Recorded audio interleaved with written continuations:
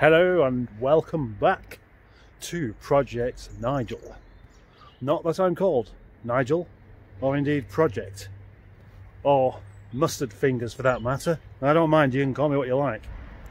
First of all, what a pleasure it is to be here on such a lovely sunny day. Yeah, it actually feels like a treat. Can't beat a lovely, brisk, sunny day. Except possibly a warm, sunny day. It's not particularly nice, freezing my knackers off. Okay, on with the show. Not show, nonsense. And now let me introduce you to Project Kurt. yes, one of you guessed it. That's what it was going to be called. It was originally called Goldie Hawn. But I can't have a name like that down here at Project Mustard Land. No, no, no, no.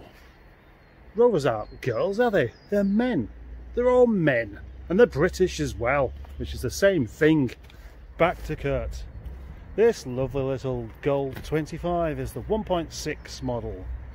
1.6 IXL, I think. And inside it has leather seats, which is always nice to see. It also means having a cream coloured carpet or sandstone coloured carpet, which means best have a piece of cardboard on the floor to avoid any grotty feet marks. And you simply cannot have clean feet while walking around on this stuff. Now it all looks quite clean inside, which is a, a good start.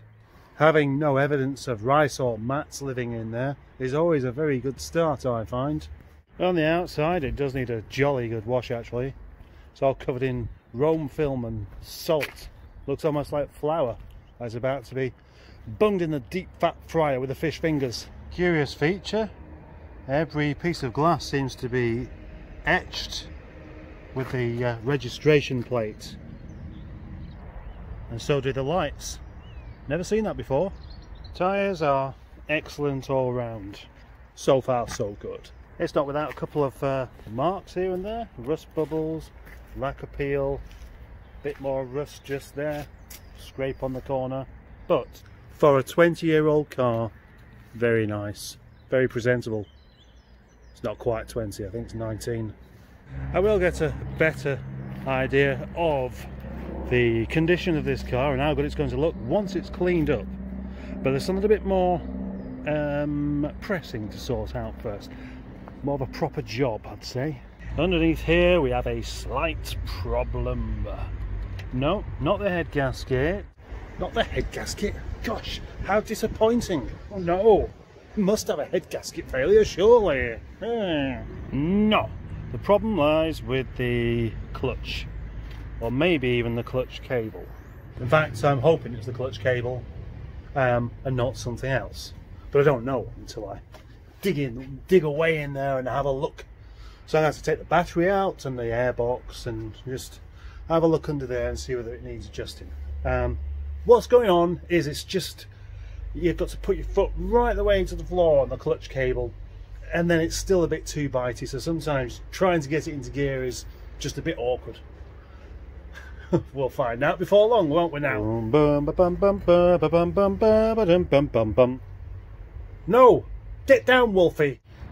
Well, the clutch cable certainly appears to have stretched somewhat. Obviously, I've taken that off of there, but um, it does look a bit too long to me.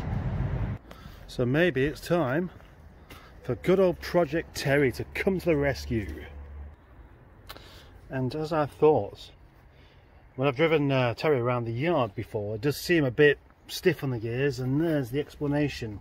This clutch cable's already been doctored Actually, doctored is never the right word when it comes to Terry. The, the word's mutilated, isn't it? There's something quite interesting. Project Nigel has a little dent on the roof just there like that. Project Kurt has a similar one. Not quite the same place, but same side, same kind of dent. Always found it quite interesting how the same cars have the same kind of dents. But that's a bit of an odd dent, that one, isn't it? And the only two I've seen have both been gold. So it must be connected with being gold. It must be a, a gold Rover 25 frustration things. It looks like somebody slammed something onto the roof there. Anyway, back to Kurt and the clutch thing. So don't have a spare clutch cable. So rather than replace, why not fix? That's what it's all about, fixing things. Anyone can replace something. Not anyone, but you know, it's easy to... Yeah, I have an idea. I think to fix this problem it's going to cost me approximately 10 pence. Not ordinary 10 pence, but that specific 10 pence on the bench just there.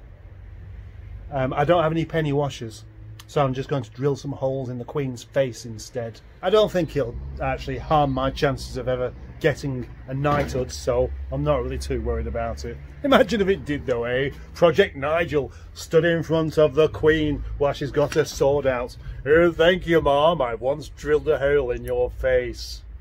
Now I know if enough people see this video, somebody will say to me, you do know it's illegal to do that to money, don't you? You're not supposed to destroy money. Yes, I know that.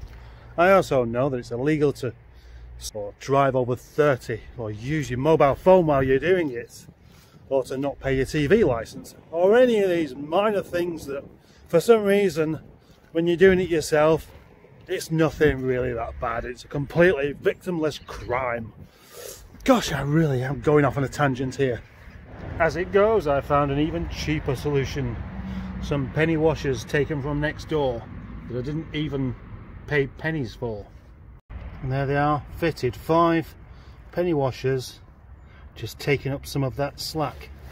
So hopefully, actually might need a couple more, but hopefully that will sort out the uh, um, problem it has.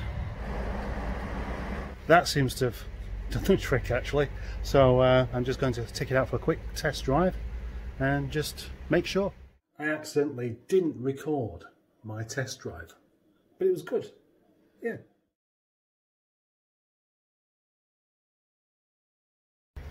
As you can see there, it took about five seconds to clean the car. But actually it's only half clean. Down these rubbing strips here was uh, some black gunky stuff that wouldn't come off with a usual wash so I had to use some citrus degreaser and it's gone. The rear wheels are always okay on these but the fronts obviously get covered in brake dust which doesn't just wipe straight off. So hydrochloric acid, that's usually the best way to remove this brake dust and they soon look like this. I haven't really washed that one off properly yet but it's uh, certainly come up a lot better so far. Much much better, much much better indeed. Much better, more presentable, nicer and better and nicer. Yes, I'm happy with that. Good. Well done me. Elbow grease. You cannot buy it. Time for some lovely interior cleaning as well now. Make it spick and span. Now the obvious problem with an interior of this colour is it's going to uh, show dirt very very easily. So I'm having a bit of a scrub with this uh, citrus stuff here. It does work if you've got elbow grease as well and it makes you warm which is good. Yeah, it's going to take uh, quite a bit more cleaning up in there I think. Started to come up in the passenger footwell but then you know it's that side that gets all the feet in isn't it? Giving Dennis one last clean out that it probably didn't need. It's four o'clock. No, it's quarter past four and I'm hungry. So it's probably about time I spooned some mustard onto some pork pie.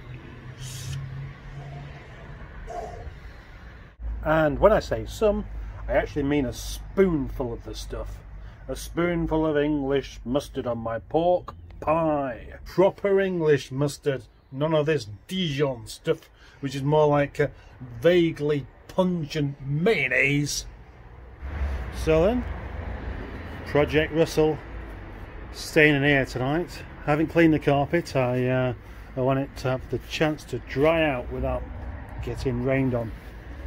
Everything always looks good in here for some reason, must be just the lighting uh, also could have something to do with how long I spent cleaning it up.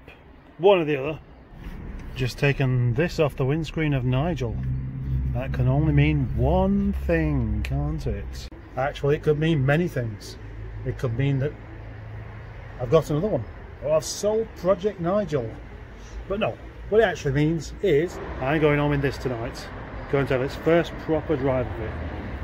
And tomorrow I'll have a proper review of that car. I was going to do one tonight, but it was a bit dark and I kept rambling on and just tripping over myself. And I decided it was a lot of nonsense, so I'll do it properly tomorrow. Bye bye.